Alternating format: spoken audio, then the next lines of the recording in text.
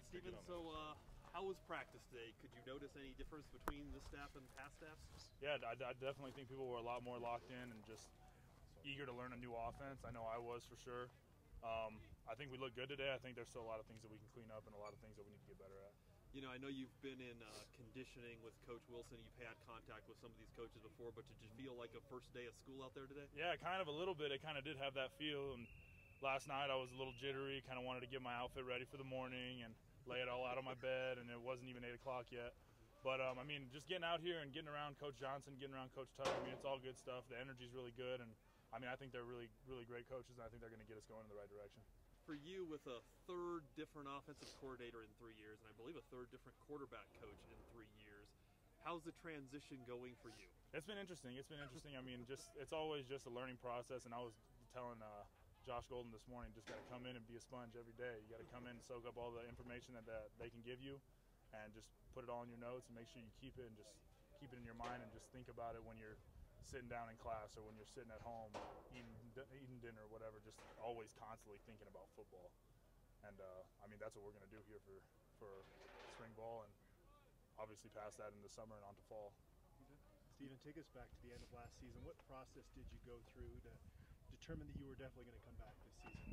I just thought about it, and talked to my family, talked to the people that are closest to me, the people that care most about me, and, and just asked their opinion on it. And then I kind of just thought – thought about what we've accomplished here and and just kind of how how these last couple of seasons we just got left with a bad taste in our mouth and just kind of just not being okay with that. So I, after I was thinking about that and just talking to my dad and my mom about it, I just I knew I needed to come back for my last year and and see it through and and just finish it finish it out with the guys that I came in here with. There's not too many too many left. Uh, I think it's like me, Brett, NJ, and I mean that might be it from the 2015 class. If, maybe I'm missing somebody, but there's not very many of us left, so I figured I'd, I'd finish out with my brothers here at uh, CU wearing that black and gold. So when you went through and, and looked at your season uh, on a personal level, what have you been focusing on since Cal to now to try uh, to get yourself better? Footwork and defensive recognition. A lot of the footwork stuff is just me falling off in the pocket or me being unbalanced, and uh, Coach Johnson's going to help me out with that a lot with the footwork drills that we're doing and just me narrowing my base a little bit just so, so I can stay a little bit more balanced.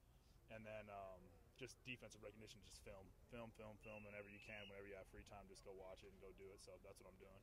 Sounds like you may have felt you had some unfinished business left here. I didn't want to say that, but yes, that is that's that's what I uh, what I was hinting to, I guess. You had a pretty good relationship with Kurt Roper. What's the transition been like with Jay Johnson? How how does he differ from other quarterback coaches you've had here? Um, I mean, I think we've definitely had three different personalities with Lindgren, Rope, and then Coach Johnson. I think they've all been different personality-wise. All phenomenal coaches. I think I've been extremely blessed, even though we've had three different quarterback coaches in four or five years.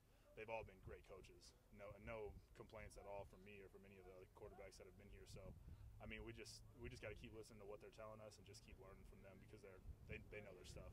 What are the main differences you notice with this new offense? Main differences just with Johnson or just like the offense the, the offense in, in general? I would say it's more pro style. More pro style. There's a lot more going on at the line of scrimmage, so we're not just calling runs like uh, inside zone to the right. We're not really calling that. It's more just inside zone check, and then based on our parameters, we'll determine where we're going to go left or right, or maybe we might even go outside zone, just depending on what the defense gives us. How big of an adjustment is this for you? with some of the differences with the offense? I mean, it's a little more stuff at the line of scrimmage, but I mean, I definitely think I can handle it. And I think this will definitely set me up and help me out, and prepare me for the next level, which is at the NFL. They do a lot of the stuff at the line of scrimmage, so it'll be good for me. You mentioned pro styles. Uh, we be under center a little bit. I will more? be. Yeah. I will be. I think uh, we'll be under center a lot more than we have been in the last three years. So I think it's probably like to put a percentage on it, maybe like 35 percent under oh, center. Wow. Okay. 35, 65, something like that. When we look at what's happened with this program from the outside. Obviously, in recruiting, it seemed like Coach Tucker really put an emphasis on both of the lines of scrimmage. Do you have any kind of sense that he's trying to make this a more physical football team? Oh yeah, absolutely. And he told that he told that to us when we, when he first came in. He said, "Hey, we're going to be physical and we are going to run the football." and I mean, that's that's that's something great to hear if you're a quarterback because I mean, if we're going to run the football, that means we're going to we're going to get some plays where we're going to not have to throw the ball every single play and have to worry about that and have to worry about protection and and do all that stuff. We're still going to throw the ball, obviously, but we're going to open up the throw with the run, which is good, which will help us out a lot. And it'll make us a more physical and tough football team. Any teammates you've seen make a big jump from the end of last season to now? Um, I mean, everyone's been working. uh, everyone's been working. It would it would be wrong of me just to call out, sit here and call out one or two guys. I mean, I think the entire team has been working. They've been working hard. Everyone's maxes jumped a little bit, so I mean that's that's gonna that's good. That's gonna happen. We have big numbers, guys putting up big weight. So I think everyone's been putting in the work. Everyone's been waiting for this day. And so I mean, now that it's here, how much work are you going to put in from now into the summer for phase two? Because that's what Coach Tuck was talking about. Phase one was the off-season training that we have, and now we're into phase two of spring ball. So how much work are you going to put into phase two? Was there anything out there today that surprised you from Coach Tucker? Any kind of situation that happened and he may have said something? Anything that really surprised you? No, nothing surprised me. He's a great football coach. He's nice and even all the way through practice, and I mean, you could hear his voice. He's definitely got a very distinct voice out there. So when he's talking, you you definitely notice and you uh, you pay attention. You perk your ears up. Awesome, and we are going to uh, Thanks, Steven. move it over to Appreciate you. Mustafa Johnson. Good luck. Appreciate it, Steven. Steve. Pass real quick. Yeah. Appreciate you guys. Whoa.